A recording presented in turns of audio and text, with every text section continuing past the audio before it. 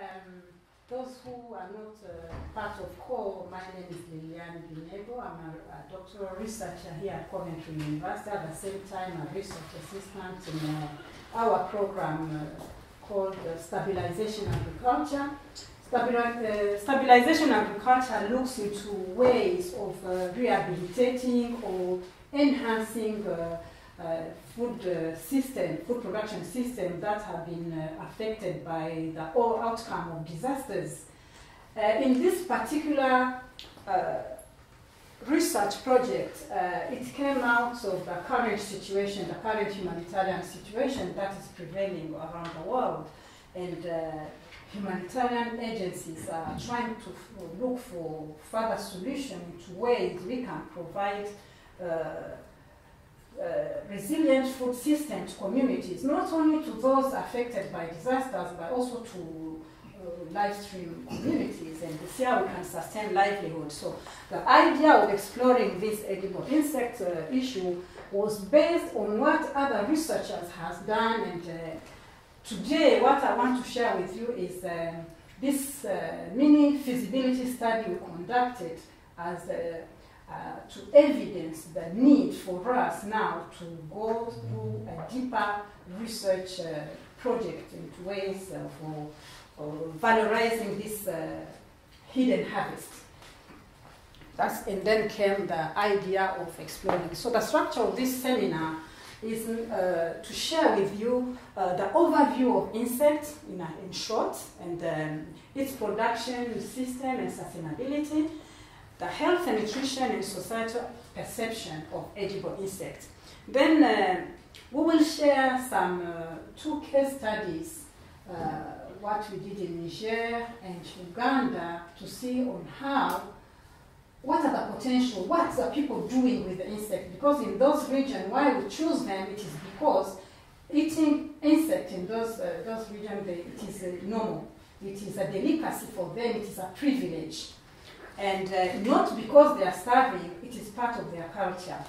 So, and then at the end, of, we come up with a case for argument whether the perspective of the edible insect uh, can stand in developing uh, livelihoods, or should we think of, trying to influence change of migrating uh, edible insects from food, farming food, statical to conventional food? Then we'll come up with our final thought after we have debated. Everyone had a say, a chance to say what they think.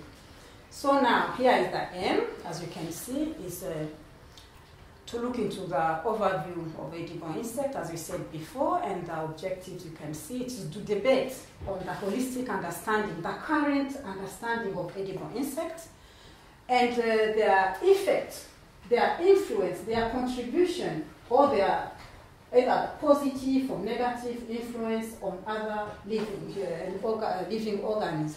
And then we look at, as we said earlier, at their production, the nutritional value. So, so what was the motivation behind it? As I said earlier, is the search of solution to sustainable and resilient food system that enhance food security in communities.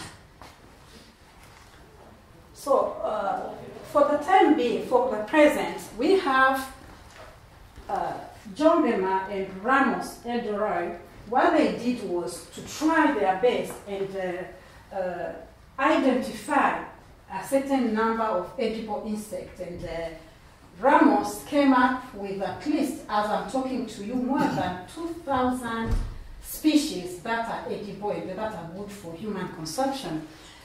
And um, we looked also the type, what, what, are they a threat for us? Actually, when I went to Niger, I looked at the background of desert locusts. You all know, if you follow the media, for instance, in 2003 to 2005, there was uh, food insecurity uh, affecting communities in West and North Africa. That led to quite a substantial destruction of crops. And these crops, they led to the current situation of human insecurity as an outcome of food insecurity for those communities because once they are cropped, those who survived the, uh, the famine, they moved to more secure uh, regions, you can imagine what forced displacement causes in countries that are already struggling to sustain livelihoods of their own communities. So this was the outcome, and the big outcome of it, what we are living today, you see people crossing the Mediterranean, drowning themselves, they are running from poverty and uh, food insecurity related issues. Then uh, this gentleman, Kevin, uh, oh, they uh, conducted a research into ways food uh, insects are used as indirect food for humans. You can look at it when they can, they can be used. they start from here, as you can see. Here is the, our insect here. It produces larvae as indirect. It feeds other animals, and then uh, like chicken, pig, fish, which, which we put on our table. And then they produce organic waste we use either in, uh, in uh, agricultural activities or again they produce that uh, closed cycle so there is no waste with insects. We gain more from them despite their other side of uh, destruction we, show, we saw before. Then here we are going to focus mainly on insects as direct food for humans. And uh, I visited all what these people have said. Those who want to know more about them, I can, uh, you can visit this presentation after the seminar. The short words I got the commonality of these people I found out was that there's this hypothetical contribution of edible insect to the solution of the world population at risk of mineral deficiency, estimated at more than 17% for zinc and 25 for iron. This one, they have this, they may have this meeting point. Meaning that if you go through their literature, you will find out that there are other aspects of insect in terms of uh, food for humans. And then Although they are all bringing on board the nutritional value of it, this gentleman, uh, it was a group of researchers, uh, Rumpold and uh, Schlüter, in 2013, they conducted a, a research on nutritional composition and safety aspect of edible insects. They found out that because of their large number, the size of population, the insects, their nutritional value is not uh, constant. It varies from one species to another. So, but they are all they all have a positive impact on human health. And uh, for instance, uh, these two gentlemen they investigated 300, uh, 3, uh, 2,036 species, and that's when they to, to, to validate their theory of the imbalance, the, the, the, the variability of uh, the nutritional value, and. Um, they came up with this conclusion that the cause of why they vary in, in, in, their nutritional value is based on the population size and the ranging. You may, for instance, find the locust. We talk about locust, but locust has hundreds and hundreds of under species within the family of locust. And um, the metaphoric stage of their species. For instance, for us humans, we like when eating them when they're, they're mature stage. Uh, animals like uh, we will see in our case study in Niger, I found out that from farmers, they confirmed to me that uh, the, their, their animals, they prefer uh, the larvae of, of locusts instead of big or the mature ones. And also the natural habitat influences the nutritional diet. What I found out as a native, originally from, uh, uh, from East Africa, where we eat quite a lot of grasshoppers, I can guarantee that the grasshopper I eat from the savannah region, where the vegetation is the savannah, the taste differ from the one from the tropical or from the equatorial forest. The diet also, he found out that also it can vary from one's condition, health condition to another. Yes, that's what uh, them two gentlemen found. Here is the, uh, the nutrition, the comparative nutritional value of, uh, in terms of uh, protein, fat, saturated fat, omega, fatty acids, and fibers. You will find out that uh, if you look up in terms of protein, you will see that crickets, the one we found in West Africa, like desert locust, and uh, we will see it as we go, you will find that they have the highest level of, uh, of, of protein. In terms of fat, in comparison to eggs, you will see that uh, here, the mealworm, you will find out it is near, it is nearing the whole egg fat, uh, fat. And then when you look at saturated, you can compare. And this is given by the FAO, uh, the UN Agency for Agriculture. Now, to make it shorter so that less confusing, you will look here that same FAO source gives us the, when you look at the cricket, look at the fat, in terms of fat, compared to cow, you'll see that the protein, they have a high level of protein, and in terms of um, fat also, the, uh, you see that cow has more than the cricket. Now, in terms of health what we found out was that uh, insects, those uh, we because right now we are having a challenge of those uh, farmed ones because there is no official legal framework that uh, rules that uh, overlooks the farming industry of edible insects beside the uh, the new uh, EU or uh, Act of, on, on insects, you will find out that uh, the use of antibiotics in livestock that is, that is meant for human consumption, example, that of poultry, cattle, etc., they increase the threat of uh, human infection due to drug-resistant bacterial strain. And um, insect, by consuming insects, we out they reduce the use of antibiotics in farm animals when, uh, let's say, we use uh, the insect as animal feed.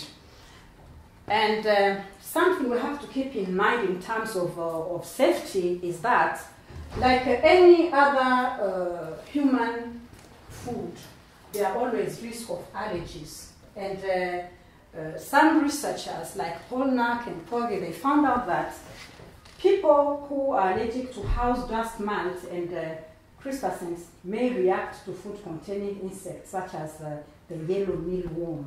So depending on your allergies before you start consuming insect, it is always good to remember that you may be having some allergic uh, risk to any food you eat. In terms of well-being, we found out that insects also can be used for psychological well-being and uh, recreational way, uh, well-being of, uh, of humans, for instance, in the fishing industry or have, keeping it as a pet, as a companion, yeah. yes, it is another possibility. So to show that they are not always in a negative way of seeing insects uh, like they are uh, creepy uh, creatures. They have their positive side. Mm. So in terms of environment, we found out uh, Lee and uh, his uh, fellow researchers in 2011, including Newton and other fellows, they found out that um, in terms of uh, environment, and this is supported also by the FAO, because we, as you know, FAO plays a big role, uh, a global role in terms of uh, uh, overlooking anything that relates to agriculture in the world, and um, particularly in the developing world. You will find out that uh, they, they, they, they advanced that, for instance, the use of black soldier, also known as latrine larva, to solve a number of environmental issues associated with manure and organic waste. For instance, they can be used to reduce the offensive smell of, of, of organic uh, uh, manures. And um, they found out also that um, the production, the farming, eh, uh, or even uh, natural harvesting of insects or production they produce less emission of greenhouse gases and ammonia compared to cattle or pigs. And also there's less requirements in land use, water, and other livestock farming. Here is an example what they gave. You'll find out that um, the net production of biodiesel per 1,000 larvae growing on one kilogram of manure, you will see that in comparison to cattle, they produce 36 Pigs, they produce 58, and chicken, they produce 91, while then they are just zero production of green. But they also there is a vulnerability coming with the insect also. The Van Huis and uh, Habundsong and Dust, they found out that despite their large population, edible insects remain uh, vulnerable to a range of hazards, as you can see. For instance, the outcome of uh, climate change, such as drought, wildfire, extreme temperature. Also, they are uh, vulnerable to human activities. Um, for instance, in Uganda, there's a problem of over harvesting. While, uh, like in this side of the world, the pollution and uh, sometimes also we have problems of asthma, as you can see most of the time, uh, like in Portugal and everywhere, where they are exposed to the high heat, sometimes also the arsonists doing that. We also have the, they're also vulnerable to chemicals. Now, we come to our main concern here, the societal perception of, of insect. Uh, as I said in my introduction, there is this ascription that uh, people eat insect because they are starving. And uh, those who are trying to be moderate, they say that no, they don't starve, but just, uh, you know, novel food is something new. Yet it is not new, because if you read even the Bible, which is the oldest book, you will find the Bible and the Quran, you will find out that even those ages people were eating insects. They say that uh, we have this ascription that uh, they belong to a certain uh, region, mostly developing countries. And in developing countries also, those who believe that they have outpassed eating insects, they say, you know, it's for poor people. And then the poor people, then in their turn, they say, no, no, no, no, it's not uh, mainly for us, it's only for women and children. So you see that kind of uh, passing demographic, you know, ascription. It's another challenge too. And then um, we have also another uh, perception, a cultural uh, belief perception. For instance, in Uganda, where I've been talking to farmers and the harvesters, they tell me that uh, for them, grasshoppers in those regions where they are falling, it is because God has seen their good deeds. They always go for peace, they don't fight. And that is why they, they have grasshoppers. When they come in abundance, they, it is in their belief that uh, the abundance goes with peace. If there is no peace, if politicians start coming making problems, the grasshopper they run away. That is the belief and the, the cultural belief. But also, we use them as in disaster management or in whatever humanitarian belief, we use them to build bridge, bridges, social bridges. Uh, you will find out that um, what we are looking into, we found out that communities come together together and there is an opportunity for communities to you know, to create a, to, to initiate a conversation, even those in warring situations. They also help create networks. Then the economic interpretation is that it is a source of income generation for those communities that are already involved in the, in the art of entomophagy. And also it is, uh, they are free to gather from the nature because they are trying to not think about farming because they can't afford farming. But right now, as I'm talking to you, we have uh, our colleagues, our researcher colleagues in the, with the University of Niger and the Regional Center uh, for the um, Monitoring of Desert Locusts. They are trying to come up with a scheme, a funding scheme. It's still in, in a project, still going on. We are still waiting for the outcome of that project. The goodness with it also, therefore, the funding, there is less use of land, water, and space, like we said earlier on. Now, the big challenge I said earlier is the standards and regulations. At global level, it's still to materialize. It hasn't come up yet. There are just still patches, patches of patches of piece of legislation that are not even reinforced. And uh, DEFRA in 2015 sent out a call for people to come up with uh, some initiatives on how we can look into a of developing uh, uh, standards and regulations that rules uh, the insect industry. That was mainly because some researchers were expressing concern about uh, industries using uh, uh, insects in the food production We don't know how they are farmed, we don't know the standards, so that was brought on board and people are still investigating and we're trying to see how we can come on board with it. The only piece of registration I can say so far at the European uh, level I can talk about is this EU regulation that came out. But this regulation does not acknowledge insects as uh, conventional food. It is supporting it as novel food. Now, here we are going to share just uh, uh, in short. Uh, we Coventry University funded this piece of feasibility study, a feasibility study to look into ways uh, the prospect of edible insect, food security, and development of resi- resilient uh, livelihood. And then the second question we were asking was that can edible insect help reduce or mitigate food insecurity related vulnerabilities in communities affected by crisis? That was the initial idea of us looking into shall we go ahead and investigate or shall we not? But for us to make a decision if we should or not, we had to do that uh, feasibility study. And what we did is, for me, as the one who wanted to look into this, I first had to look at three at different aspects. I had to look at food security theories that already exist, and then I had to look at the development theories that exist. And I didn't want to go to the new one because the new one were not giving me really what I needed to be able now to build an evidence.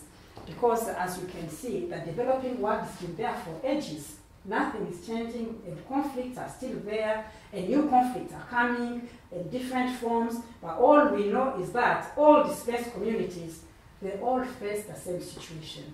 So I had to consider at least uh, uh, SEN, 1986, and then I looked at Todaro for the development and at Anderson on food uh, production system. The framework I looked at was to start with edible insects production, uh, production chain, and uh, based on the framework, from the combination of the three framework, I looked at the production, processing, distribution, consumption, and waste management to be able to, to say, shall I go ahead and really deep, deeper for the humanitarian relief. So what I found was there are two systems of, uh, of production. You have the natural harvesting and you have the conventional farming system, like any livestock. So here, what I did was to go and see how uh, harvesters collect it and uh, this young man is one of the people I went to see because uh, he was working for his mother and then I had to follow him. And then here, this is our colleagues in Niger where they are trying to, to, to research on the farming system. Then um, the processing, what the feasibility study found out was that we have the three levels in the two countries, Niger and Uganda. I found out that we have at household level, and also we have small uh, processing units, and also we have the medium one. And uh, in, about the distribution, in both countries, they all do it at a local level. They also do it local market, regional market. We found out that, uh, for instance, uh, there is a, a commuting, uh, a, a, an exchange of, of commercial activities, edible-based, edible insect-based, going through all the ECOWAS member states, the West African member state coalition. And same in East Africa, you see that grasshoppers are moving from Rwanda, Uganda, South Sudan. There is that exchange of it. creates a sort of uh, supply chain. And then in terms of consumption, in both countries, I found out that uh, uh, there's consumption household level, local market, regional, and international market in both countries. And then about the waste management, uh, they practically produce near to zero waste.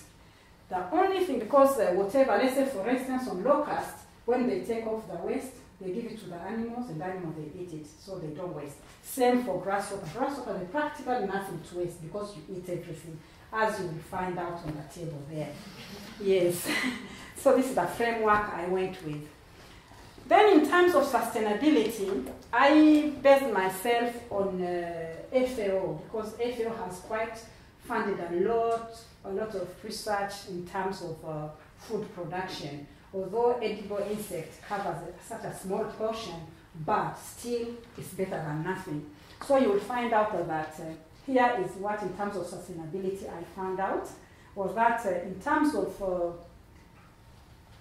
input, uh, production inputs, I found out that water they use very less. Let's say, for instance, for gallons, in terms of gallons, for the production of, um, let's say, one kilo of, of, of cricket, we'll use only less than one gallon.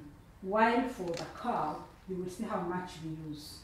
And uh, for beef, for instance, and uh, for animal feed, same thing. And you will see that uh, the emission of green gas uh, green gas emission, you will see how this is zero, this 100 times, as we said earlier. So, but also there are limitations. I found some limitations. In natural harvesting, I found that uh, all these creatures, they, they are rain dependent. Where there is no rain, there is no production. And also they are seasonal. And uh, in the farming industry, what I found that is really challenging, might be challenging in the future work is the ethics of farming and acceptance.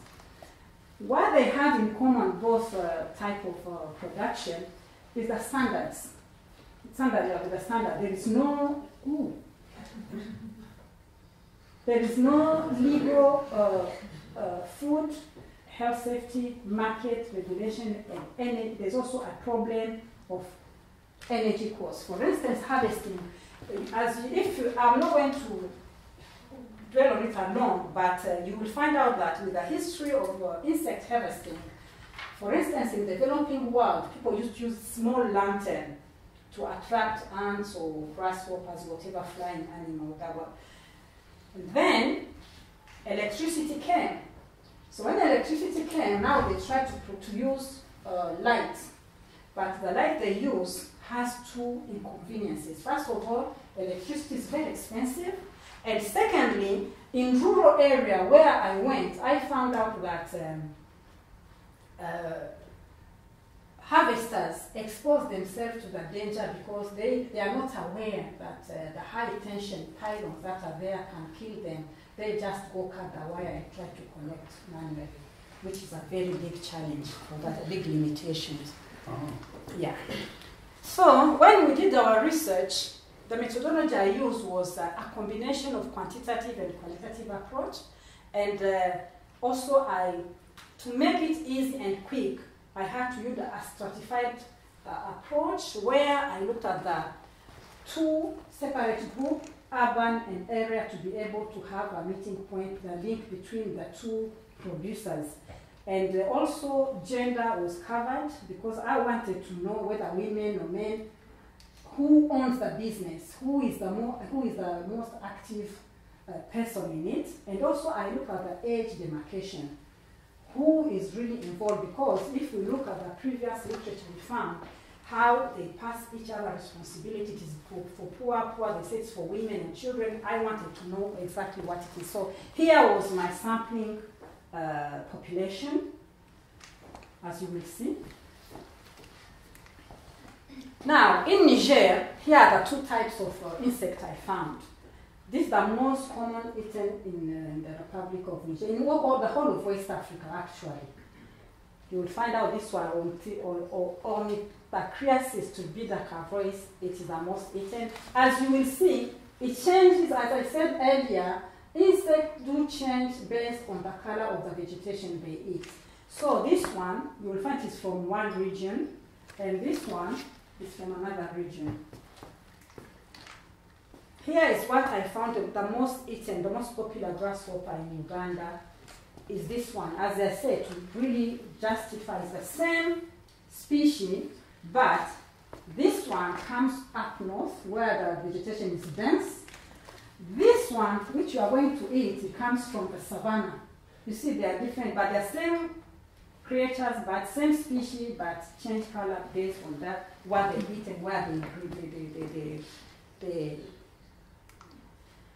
Here is the distribution framework I found in both countries. They have this is common, where you see a gatherer who is here. It is an informal business. As I said, there is no uh, legal framework that governs the edible insect industry in most parts of the world, except this new legislation we saw in the, from EU. And then the gatherer will come here and sell it to the, to the wholesaler, and the wholesaler will go to the main retailer. The retailers will go to the wholesaler. The wholesaler will have his uh, depot somewhere, and then you have different levels to consumers. And then these consumers also they differ. You will find out that this is the household, the head of household, maybe who's come to shop for his household to eat and do it. And this maybe she's another consumer, another who will purchase them, go again, reprocess them, and sell them to another market. So it is a whole ramification of uh, uh, chain distribution. Yeah. And then you have the market, and then the end user. Because here it creates another chain. And this chain, to cut the chain short, you will say that the end consumer is a household, and then another end consumer is another market. Because at the household also they may buy, eat, and give to the children to go to school and sell among other children. So it is a whole market. It's like it's an endless market. Now, what I found, uh, first of all, I asked my, uh, my different uh, respondents to set me a list of uh, their spending priorities. In Uganda, in Niger, this is what I found. The first priority was household well-being, and the second one was the social network, and so and the list goes down. Same in Uganda. So here is what I found for the spending. For instance, in Niger, you will see that um, the big chunk of money goes on household well-being, as I said. The well-being means that maybe they pay uh, nice food, they, they pay good clothes, they I mean, they, they make themselves comfortable. And then you'll find out that uh, the health care comes second. Meaning that basically there's no NHS there. And uh, people, they don't, some, like in Niger, I don't find there's any uh, scheme, any medical scheme, meaning that they all depend on themselves, no one is there to support them. So that's why the big jump goes on healthcare. On business improvement, you can see this is the smallest portion because after they have spent all this money, there is little left to improve their business. But still, they have that ambition of improving their business. And then for education, education came, came third in Niger. Why? It came third because only boys are given priority to go to school. So you can understand the situation. At that time when I was collecting my data, the pound, uh, CFA was, uh, for a pound, you could get 741.33 CFA, uh, French francs there in that region. So in Uganda, you can see the difference. Um, also, healthcare, similar to, to Niger, they all, because also there is no NHS as you can tell, and um, healthcare similar.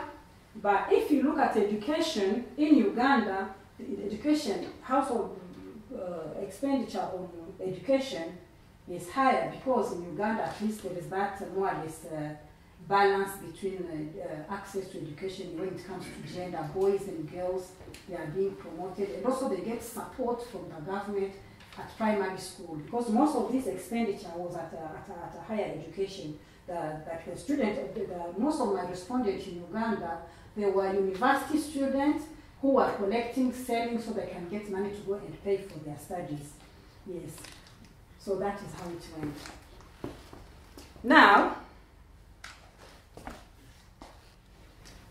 Josh, where are you? where is he? So I want to share with you just a five minute clip on uh, when I, I made a, an amateur clip on how uh, grasshoppers are harvested. I managed to speak to one of the harvesters in the rural area. And um, yeah, I think I think to start. Yeah, Yeah, are you ready Yeah, to go? yeah. Okay.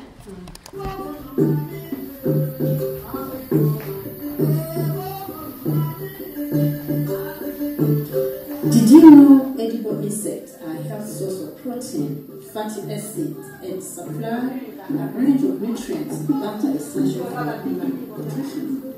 In addition to this, they are produced in a sustainable way with limited space requirements. We visited insect producers in Kampala in Mbarara, Uganda to learn about their experiences in harvesting edible insects.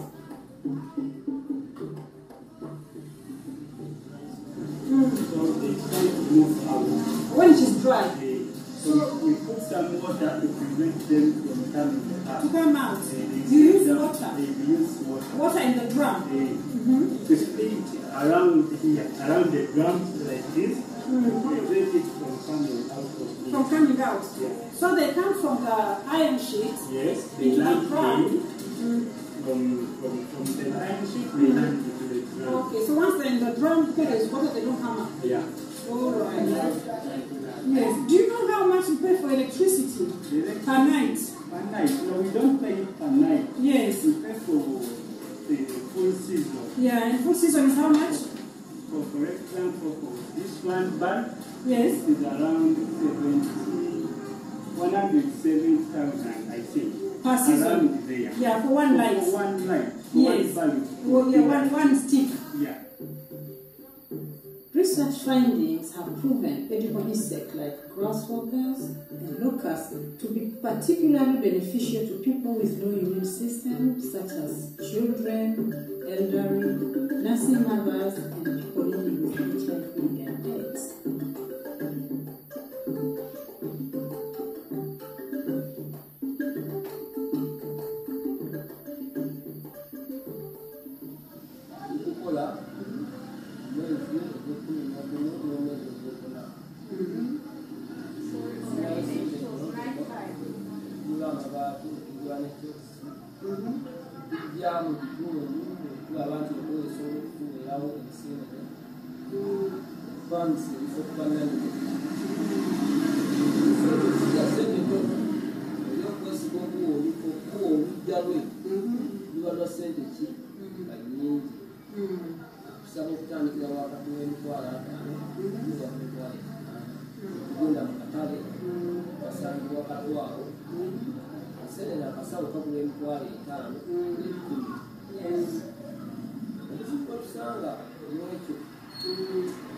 As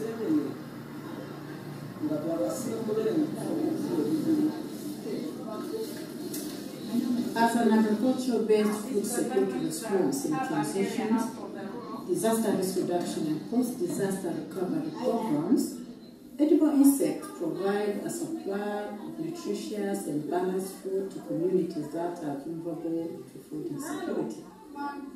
As well as this, as a farm-based supplement to traditional animal feed, insect farming has proven to be economically sustainable and an excellent alternative to traditional animal feed to small livestock.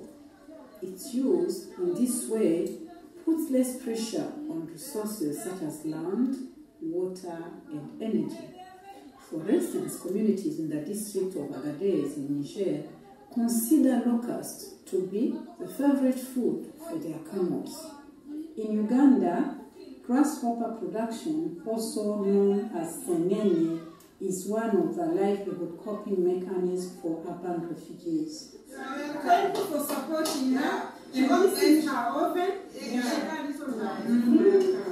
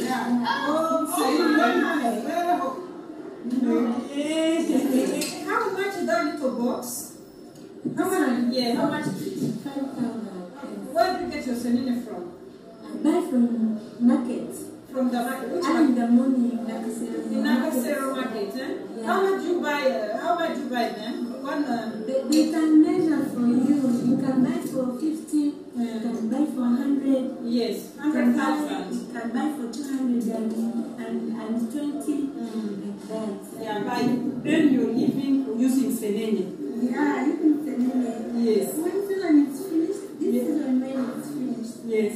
I can buy something else like uh, Yeah, use the money. blackberries, eh? Blackberries, eh? Yeah, I can buy bread. I sell blackberries. Uh-huh. Yeah, I sell, I sell oranges. Yes. I sell apples. Yes. Yeah, like. Then that, that's why that's why I, You survive I survived. As a source of income generation, edible insects have the potential to enhance community livelihoods, boost local economies, as well as contribute to peace building and global security through activities that target social cohesion and community well-being.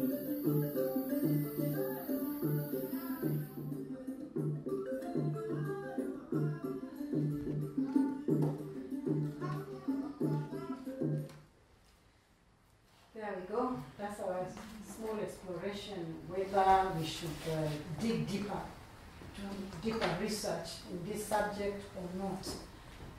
And um, the conclusion was that, uh, based on what we've just seen and what we discussed, uh, despite the limitations we found, which could uh, research and find solution for, I believe that, and uh, I thought it would be quite interesting to conduct a comprehensive investigation into the perspective of uh, world edible based livelihood in emergencies and uh, humanitarian relief. Now, for me to give you the ground, I mean the, the flow for questions, is is what, what is next. What we thought would be next was tangible evidences that can justify the need for edible insects to migrate from farming food statical to conventional food production. And the second one was if edible insect can really edible insect contribute to the, to the to disaster reduction and mitigation of food insecurity related vulnerabilities and promote human security. We are still yet to find out. But so far, this is the next step. These are references I conducted.